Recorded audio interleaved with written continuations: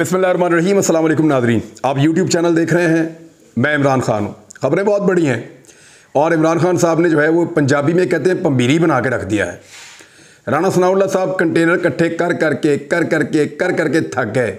और इमरान खान साहब ने सारे कंटेनर ज़ाया कर दिए। मुझे कल रात को ये खबर मिल गई थी, और आज सुबह के वीलॉग में मुझे ये खबर देनी थी। लेकिन और बहुत सारी खबरें थी, क्योंकि शबाज शरीफ साहब ने जो ख़िताब किया, उसके बाद जो बिलावल ने किया फ़ौज के बारे में, बड़ी नेगेटिव बात की बिलावल ने, फ़ौजी क़्यादत के बारे में। तो फिर मुझे मौका नहीं मिला उस वीलॉग में तफसीलात आपको बताने का। और मामला बड़ा क्लियर था। इमरान खान साहब बार बार कहते हैं कि मैं आ रहा हूँ और अब मैं करने वाला हूँ। और ये पूरी तैयारी कर देते हैं अपनी।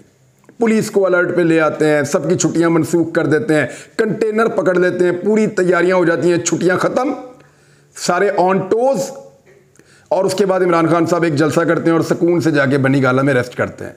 और इमरान खान साहब के जो फॉलोअर्स हैं, वो निकलते हैं सड़कों पे, वो आते हैं, इमरान खान साहब का जलसा सुनते हैं और वापस चले जाते हैं। अच्छा नॉर्मली अगर कोई पॉलिटिकल पार्टी ऐसा कर रही हो तो उसका वर्कर उसका साथ छोड़ दे। लेकिन इमरान खान साहब के वर्कर बहुत ढीठ साबित हुए हैं। और वो भी आसाबी तौर पर उसी तरह के बनते जा रहे हैं, जिस तरह के इमरान खान साहब हैं। इमरान खान साहब इम्पोर्टेड हुकूमत को छेड़ के और उनके आसाब के साथ खेलते हैं और उनके वर्कर्स भी लगता है ऐसा ही कर रहे हैं। 25 मई को जो उनके साथ किया गया था, एक तशद जो जिसमानी तौर पे हुआ था, अब वही पॉलिटिकल पार्टी और इमरान खान साहब जहनी तशद की सूरत में उसका बदला लेते हैं और बार बार लेते हैं। यानी इम्पोर्टेड हुकूमत समझती है कि आज अटैक होगा हमारे ऊपर, कल होगा हमारे ऊपर अटैक लेकिन वो होता नहीं है। तो उसमें इमरान खान साहब जो हैं, वो थका रहे हैं आसाबी तौर पर वो कह चुके हैं, पहले की मरतबा के आसाब की लड़ाई में मैं इनसे आगे हूँ और मैं इनको थकाऊँगा। इमरान खान साहब अगर कॉल देंगे तो 24 घंटे के अंदर वो लोगों को इस्लामाबाद इकट्ठा कर सकते हैं और ये टाइम जल्दी आने वाला है। ज़्यादा टाइम वो छोड़ेंगे नहीं। लेकिन आज की जो तकरीर थी उसमें उन्होंने हैरत अंगेज तौर पे वो तमाम चीज़ें नहीं कहीं जो वो इससे पिछली तकरीर में बड़े ज़ोरदार तरीके से कह चुके थे। इंटरनेट भी कुछ एरियाज़ में बंद हुआ। रोकने की कोशिश भी की गई। इमरान खान साहब एक तकरीर में ज़ोर से बोलते हैं। उसमें तासर जाता है कि इमरान खान साहब और इदारों की लड़ाई हो गई है। और फिर बहुत जल्दी इमरान खान साहब इस्लामाबाद में आने वाले हैं। अगली तकरीर में वो इस्टेब्लिशमेंट का नाम भी नहीं लेते और उसके अंदर कोई अनाउंसमेंट भी नहीं करते। उसमें हुकूमत फिर कन्फ्यूज़ हो जाती है कि यार कोई इनकी डील हो गई है, क्या हो गया है? या ये कोई मामला और कुछ हो गया है? तो वो ऊपर नीचे करते चले जा रहे हैं और हुकूमत को रोज़ाना नई कन्फ्यूज़न में डाल देते हैं। इसी को कहते हैं आसाब की लड़ाई। राना सनाउल्ला गिले शिकवे कर रहे हैं, आपने आना था, आप नहीं आए, आप क्यों नहीं आए? क्योंकि सारी मेहनत जो ज़ाया होगी उनकी और जितना कुछ उन्होंने प्लान किया था, वो नहीं हो पाया।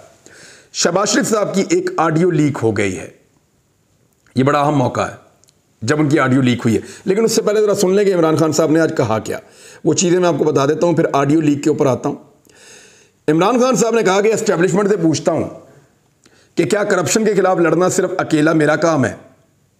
हालाँकि इमरान खान साहब पहले ये कह चुके हैं कि ये तो उनका मसला ही नहीं था करप्शन और मैंने ये महसूस किया। रहीमियर खान जलसे से किताब करते हुए इमरान खान ने कहा कि मैं आज पाकिस्तान की इस्टेब्लिशमेंट से पूछता हूँ कि ये जो चोर, अपने चोरी के केसेस ख़त्म कर रहे हैं, क्या ये सिर्फ़ इमरान खान की ज़िम्मेदारी है कि वो ये सब कुछ रोकें, या आपकी भी ज़िम्मेदारी है? क्या मैं अकेला हूँ? क्या मैंने ठेका लिया हुआ है कि करप्शन के खिलाफ लड़ूं? किसी और की ज़िम्मेदारी नहीं है? हमारी इस्टेब्लिशमेंट कहती है कि ताकत उनके पास है और फिर कहते हैं कि हम न्यूट्रल हैं। हम तो किसी तरफ़ नहीं हैं। ये डील और एनआरओ के तहत केसेस ख़त्म करा रहे हैं। पूरी कौम उठ खड़ी हो। उन्होंने कहा कि इस वक्त तक वो इक्यावन जलसे कर बैठे हैं। सारा पाकिस्तान फिर लिया है। ये शूर कभी नहीं देखा। जो आज मेरी कौम में है, हकीकी आज़ादी के हसूल की खातिर मेरी कौम तैयार है। जो जिधर है और मेरी तकरीर सुन रहा है, आप सबने तैयार होना मैं आपको कॉल दूँगा। ज़्यादा नोटिस नहीं दूँगा। कॉल तब दूँगा जब मेरे मुखालिफ ये समझेंगे कि इमरान खान पीछे हट गया है। और कॉल तब दूँगा जब मेरी एक गेंद से तीनों की विकेट गिर जाएगी। तीन विकेटों से मुराद है पीपल्स पार्टी, मौलाना फजल रहमान और नवाज़ शरीफ। एक बॉल से तीनों विकेटें गिर जाएँगी, वो ये सोचते हैं। लेकिन मैंने आपको पहले बताया था कि इमरान खान साहब अब 12-24 घंटे की भी कॉल देंगे तो लोग पहुँच जाएँगे। और इसी के लिए वो जहनी तौर पे लोगों को तैयार कर रहे हैं। उन्होंने कहा, मैंने अपनी तंजीम की तैयारी करवा ली है। हम तैयार हैं। मैं कॉल दूँगा, वो आखिरी कॉल होगी, उसके बाद कोई मार्च और धरना नहीं होगा। वो कॉल होगी पाकिस्तान को बचाने के लिए, साफ़ और शफाफ इलेक्शन के लिए। साफ़ और शफाफ इलेक्शन के सिवा कोई और रास्ता नहीं है। इलेक्शन जब तक नहीं होंगे, सियासी इस्तेकाम नहीं आएगा। और सियासी इस्तेकाम नहीं आएगा तो माशी इस्तेकाम नहीं आएगा। इलेक्शन इसलिए चाहते हैं कि अवाम का माशी कत्ल कर रहे हैं, लिहाजा इलेक्शन होना चाहिए। पुरमन एहतजाज हमारा जमहूरी हक है। राना सनाउल्ला लोगों को डरा रहा है। राना सनाउल्ला को वजी दाखिला बनाया जिस शख्स को जेल में होना चाहिए, वो हमें बता रहा है कि जमहूरियत क्या होती है। राना सनाउल्ला सुन लो, इस बार कप्तान तैयारी के साथ आएगा। कप्तान हर वक्त ये देख रहा होता है कि उसका मुखालिफ क्या कर रहा है। हमें तो पता है कि राना सनाउल्ला क्या करेगा। मगर राणा सनाउल्ला को नहीं पता कि मैं क्या करने जा रहा हूँ। वो कंटेनर पकड़ के इकट्ठे कर रहे हैं इस्लामाबाद में। जगह जगह कंटेनर पड़े हुए किसी टाइम लगाने पड़ जाएँगे। तो इमरान खान साहब ने सारी कंटेनरबाजी जो है वो ज़ाया कर दी है। खौफ के बुत को तोड़ दो, उन्होंने कहा इमरान खान साहब ने। खौफ की जंजीरें तोड़ दो। आप तैयारी करें, आप मेरी कॉल की तैयारी करें, क्योंकि मैंने फैसला किया है कि मैंने किसी सूरत इन चोरों को कबूल नहीं करना। तो ये थे जी इमरान खान साहब। अब आप उनकी हमत अमली का अंदाज़ा कर सकते हैं कि उन्होंने थकाने के ऊपर कमर बांधी हुई है और वो लगातार थकाते चले जा रहे हैं अपने मुखालफी को। इसहाक डार साहब ने ऐलान किया कि वो पाकिस्तान वापस आएँगे। उन्होंने कहा, एक दो रोज़ में टिकट लेके पाकिस्तान जा रहा हूँ। और बुध वाले दिन का उन्होंने कह दिया कि मैं हलफ भी उठा रहा हूँ वज़ीर ख़जाना का। लेकिन उनके हलफ उठाने से पहले एक ऑडियो लीक हो गई है। ऑडियो जो है वो तोकीर शाह साहब और शहबाज शरीफ साहब के दरमियान है, जो लीक हुई है। शहबाज शरीफ, आपको पता है कि इस्टेब्लिशमेंट के इस वक्त मोरे के तौर पे काम कर रहे हैं पाकिस्तान में। और उनको इस्टेब्लिशमेंट की आशीर्वाद हासिल है। जबकि तोकीर शाह जो हैं, वो शहबाज शरीफ के मोरे के तौर पे हमेशा काम करते हैं और हमेशा शहबाज शरीफ के दिल के और उनके अहदों के बहुत करीब रहे हैं। उनके दफ्तर में उनको हमेशा एक हैसियत रही है तोकीर शाह साहब को। तो अब शहबाज शरीफ साहब की और तोकीर शाह साहब की ऑडियो लीक हुई है और ऑडियो लीक हुई है इसहाक डार के बारे में, मरियम नवाज़ के बारे में और कुछ निजी ज़ाती कामों के बारे में। ऑडियो में आपको बताता हूँ। लेकिन मैंने आपको एक खबर दी थी, ट्वीट करके, और वो खबर जो है, वो कुछ दस, पंद्रह हज़ार मरतबा रीट्वीट हो गई है, सारी दुनिया ने जान लिया है। आर्मी चीफ ने हम लोगों को बताया था कि मुल्क के अंदर जो ये मीशत की तबाही है, इसके लिए जो मरकजी किरदार और ज़िम्मेदार है, वो इसहाक डार है। तो जनरल कमर जवेद बाजवा साहब इसहाक डार साहब को बतौर वज़ीर ख़जाना पसंद नहीं करते। उनको बहुत सारी बातें जो है, वो मफ्ता इसमाइल साहब ने भी बताई थी। बल्कि मफ्ता इसमाइल साहब ने आर्मी चीफ को ये कहा था कि दुआ करें 2018 में हमारी हुकूमत ना आए। तो जब उनसे पूछा गया तो उन्होंने कहा, वो इसलिए कि जिसकी भी हुकूमत आएगी, तीन साल तक उसकी कमर सीधी नहीं होगी। डार साहब ने ऐसी माइंस लगाई हुई थी पाकिस्तान की इकॉनमी में। तो ये तो बातें हैं माजी की। अब वही डार साहब जब वापस आना चाह रहे हैं तो उस वक्त एक ऑडियो लीक होती है।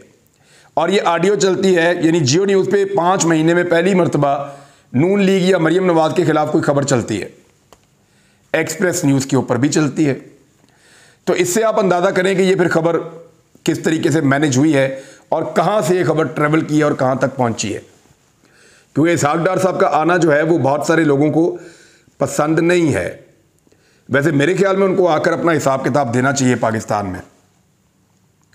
शबाज शरीफ साहब की जो ऑडियो है, उसमें यह है कि जो ऑफिसर हैं, वो शबाज शरीफ साहब को कह रहे हैं कि मरियम सफदर अपने दमाद राहील के लिए सिफारिश करते हुए ज़ोर लगा रही हैं, जिनका एक पावर प्लांट है, जो इंडिया में मौजूद है, और आधा पावर प्लांट इंडिया से आ चुका है, और बाकी आधा पावर प्लांट इंडिया से लेकर आना है।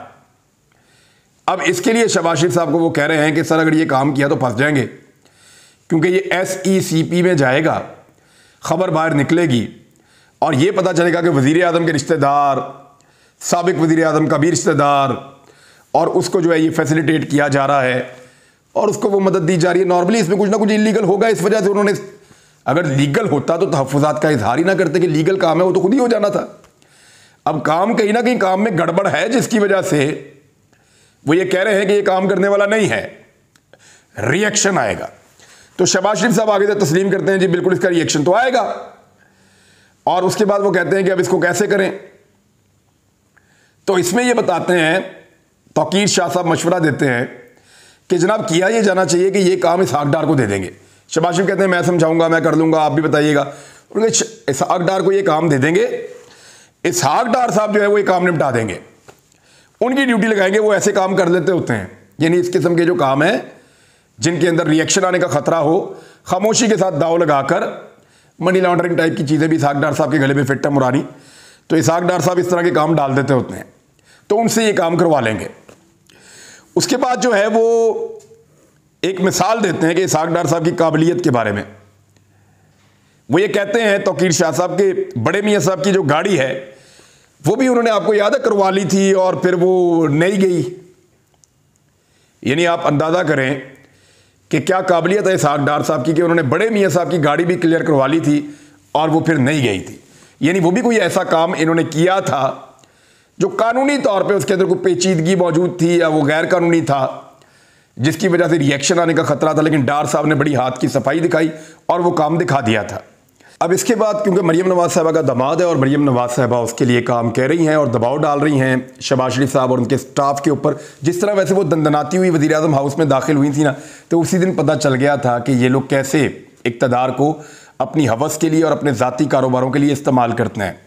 अगला काम वो बता रहे हैं कि जी वो रहीम यार खान में उनकी एक हाउसिंग सोसाइटी है, उसके लिए ग्रिड स्टेशन है, वो लगवाना है तो शहबाज शरीफ साहब कहते हैं, जी बिल्कुल उनका वो काम करवा दें। इस काम के लिए जो सोसाइटियों वाले हैं ना, वो बेचारे दफ्तरों के चक्कर ही लगाते रहते हैं। मरियम नवाज़ का दामाद अपने घर बैठेगा, वो अपनी सास को फ़ोन करेगा। उसकी सास जो है, वो वजी अजम ऑफ़िस में फ़ोन करेगी। वजी अजम ऑफ़िस जो है वजी अजम को इन्फॉर्म करेगा और वजी अजम कहेगा, लगा दो। हमारा सन इन लॉ है वो। ये शबाज शरीफ ने वर्ड इस्तेमाल किए हैं कि वो हमारा सन इन लॉ है तो उसका काम किया जाए। हाउसिंग सोसाइटी में ग्रिड स्टेशन लगा दिया जाए। यानी ये बादशाह सलामत और बादशाह सलामत के ख़ानदान की मौजें हैं। आपके सामने है जी सारी सूरत हाल और अब आप अंदाज़ा करें कि किस तरीके से पाकिस्तान को इस ख़ानदान ने अपने ज़ाती फ़ायदे और मकासद के लिए इस्तेमाल किया है।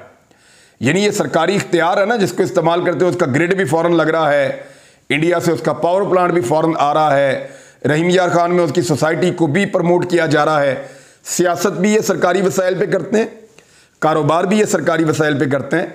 इसीलिए इनका कारोबार अंडे बच्चे बहुत तेज़ देता है और बहुत तेज़ी से इनकी इनकम बनती है। तो अब देखना ये है कि इसहाक डार साहब अपनी पुरानी रविश या नून लीग की रविश के मुताबिक इसका कोई जवाब घड़ के पाकिस्तान वापस आएँगे या नहीं आएँगे?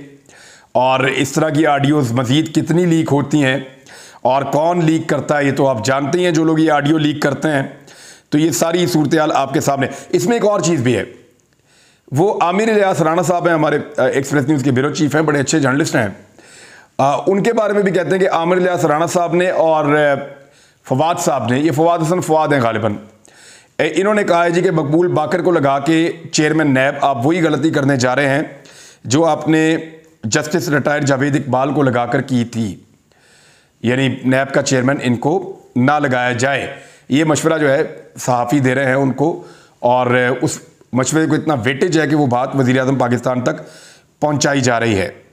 इंडिया से पावर प्लांट आ रहा है जी। इंडिया के साथ कारोबार कर रहे हैं और इंडिया के साथ तजारत बिल्कुल पाकिस्तान ने बंद की हुई है। पाकिस्तान ने इसलिए बंद की हुई है कि कश्मीरियों को उन्होंने हक खाया है। पाँच अगस्त के इकदाम को पाकिस्तान चाहता है कि वापस रिवर्स करे इंडिया। लेकिन पाँच अगस्त के इकदाम के ऊपर शहबाज शरीफ एक लफ्ज़ नहीं बोलते।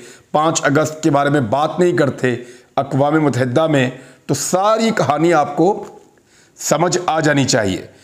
अब पाकिस्तान के जर्नैलों के लिए एक ड्यूटी फ्री करने का एक सहूलत मुहैया की जा रही थी छः हज़ार सी सी बुलेट प्रूफ गाड़ियों के लिए।